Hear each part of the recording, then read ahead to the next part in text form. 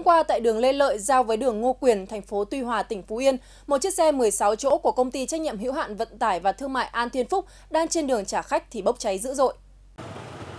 Lái xe Phan Đức Thắng chỉ kịp mở cửa cho năm hành khách thoát ra ngoài, rồi dùng bình chữa cháy nhỏ trên xe để dập lửa, nhưng lửa lan nhanh khiến chiếc xe cháy dữ dội. Tại hiện trường, phần đầu của xe khách đã bị cháy rụi, toàn bộ ghế ngồi cũng bị cháy, chỉ còn trơ khung lộ ra những búi dây điện. Công an thành phố Tuy Hòa đã kịp thời có mặt tại hiện trường, phân luồng giao thông để đảm bảo các phương tiện qua lại và tiến hành điều tra làm rõ nguyên nhân xảy ra vụ việc.